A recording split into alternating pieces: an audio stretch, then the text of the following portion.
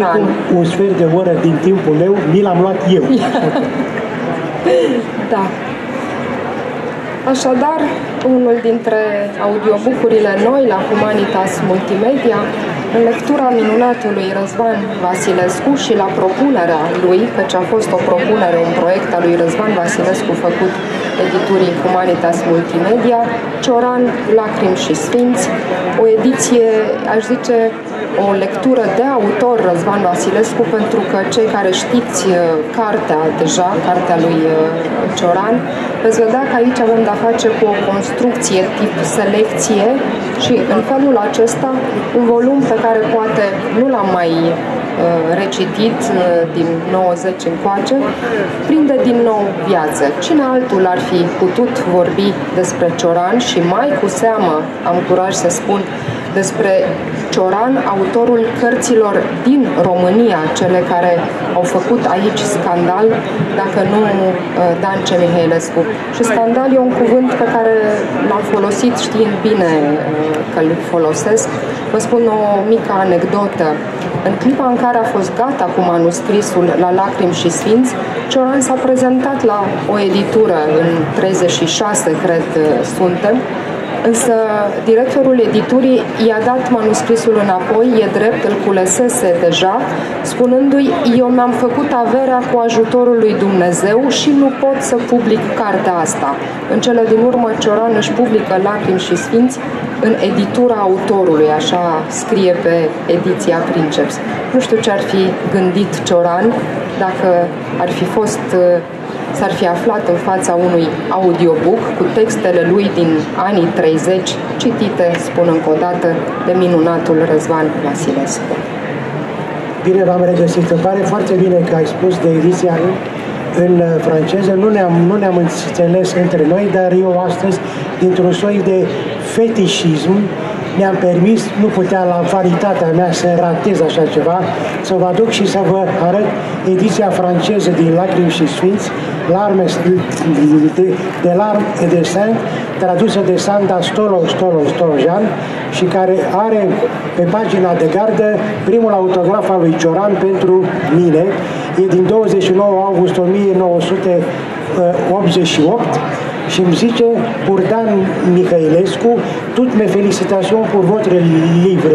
I-am dat Eminescu meu din 82 j'ai une nouvelle qui va vous intéresser, o știre care să vă intereseze, o noutate. Je n'ai plus envie d'écrire. Nu mai am chef să scriu. Asta era în 88.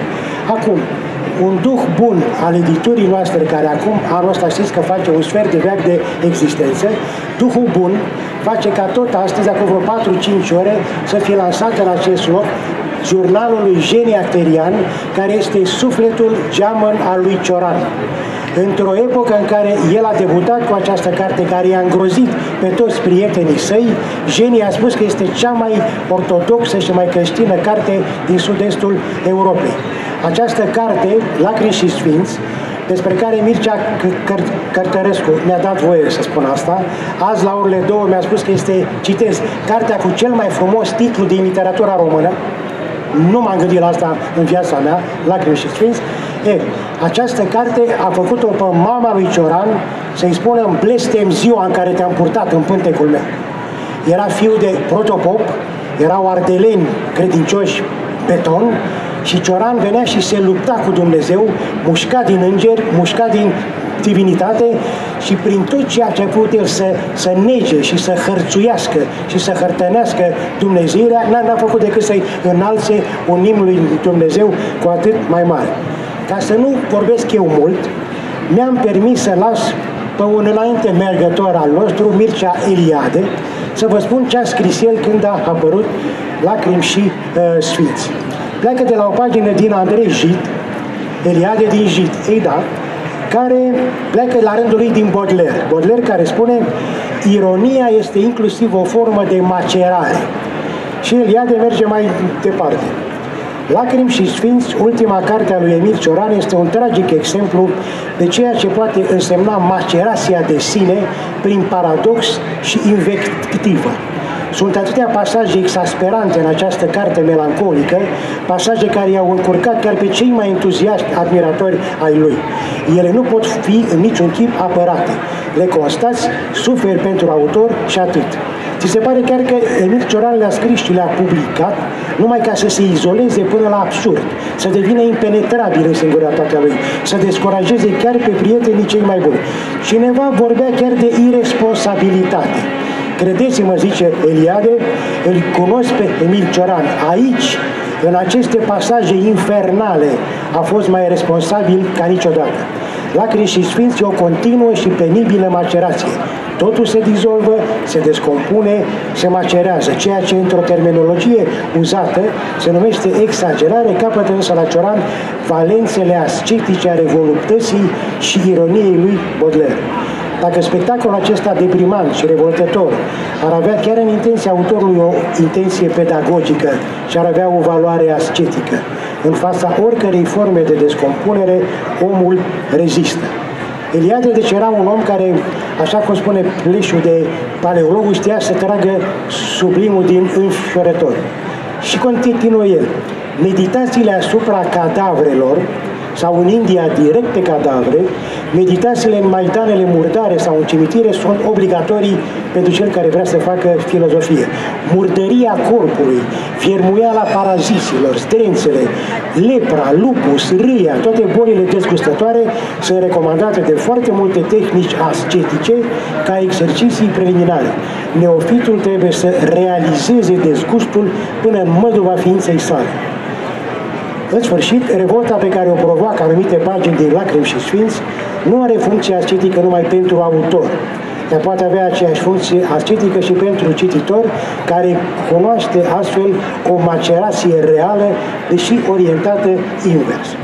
Acum, să nu credeți că dacă ați citit, cum am citit și eu la și Sfânt și în română și în franceză, vă puteți dispensa, asta nu este o tactică de, de samsară de văzător, dar nu vă puteți dispensa de acest disc dacă vreți să vedeți ce poate să facă o voce, vocea unui actor care nu e un tip simplu, este un temperament coleric, bine drapat, bine deghizat într-un flegmatism, într-un plictis britanic, Răzvan Vasilescu este un autor misterios, este o ființă stranie, un om care pare dur, crud, sceptic, uh, sadic chiar, sarcastic, caustic, mordant.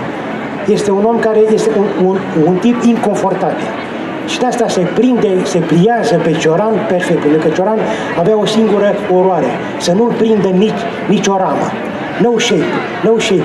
Era obsedat de libertate, nu suporta nicio constrângere, n-a vrut să lucreze niciodată în viața lui dragă, n-am vrut să fiu profesor, n-am vrut să am șef, n-am vrut să am condică.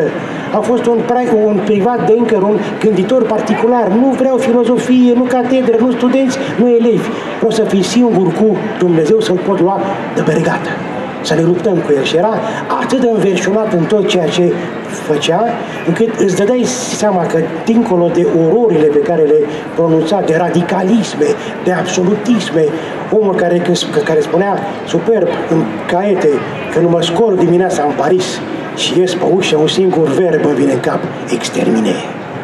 E, ororile astea știe să le să le alchimizeze într-un umor, într-o ironie și autopersiflantă. Și toate astea le găsiți în glasul lui Răzvan Vasilescu, care este un om, eu n-am auzit, Gabriel Liceanu mi-a spus că nebunești dacă asculți metamorfoza lui Kafka, deci, eu am ascultat altceva.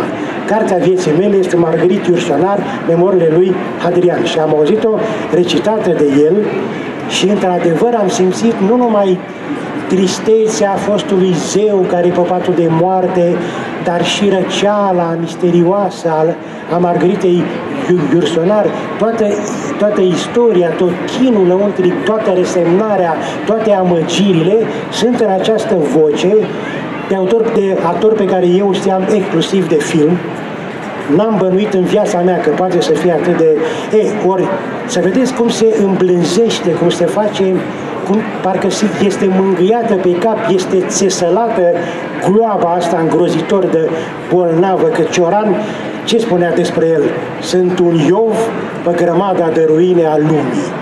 stătea pe grămadă, erau numai culoaie, lumea este într-un asfințit perpetu, dragă, noi nu mai avem nicio iluzie, nicio amă, amă, amăgire, ne putem bate joc de orice. Deci această fericire a răului, practic, se întorcea într-o valorizare a binelui. Încât eh, eu personal am fost de la început un adversar, știți voi, al audio-bookului, nu conduc. Și Gabriel Liceanu și prietenii mei mi-au spus, băi, nu știi ce minunat e să mergi patru ceasuri până la Sibiu, până la Brașov și să spui eh, când m-am convertit, când a fost o ruină în fața mea, în care nu suport să pierd timpul, trebuie să fac mereu ceva, să citesc, să scriu, să... am stat patru ceasuri meduzat, stupefiat, întins pe canapea, cum stăteam la 16-17 ani când ascultam teatru radiofonic. Hoții de Schiller, regia Constantin Morozan, maestru emerit al artei, așa am stat acum în beznă, acum 2 ani, să ascult patru CD-uri cu Andrei Pleșu citind Craii de Curtea Veche atunci am fost lapidat de ce înseamnă auzul, de ce înseamnă... Ei, și acum, încet, încet, încep să văd că atâta timp cât tu poți să-ți faci spectacolul mental al unei lecturi, încercați să-l auziți pe Cioran, să-l auziți și să, să faceți pe ecranul fante, fanteziei imagini. E o chestie, mie nu mi-a ieșit infern mi-au ieșit peste tot îngeri, când mi imaginam pe Cioran, dar îngerii ai, ai deriziunii. Îngeri în picioarele goale, juliți de la, de la uh, tot, tot felul de mers până pădure, cu bube, deci niște îngeri umanizați. Ori dacă nici formula înger umanizat sau demon umanizat nu se pliază pe uh, Cioran, nu știu care alta mai bună este, am dat pe primire cu 5 minute mai repede. Vă mulțumim foarte mult. Chiar român. Dancel Mihailescu se întoarce la autografe. Aici vom continua cu o lansare Humanitas Fiction. În 4-5 minute va începe.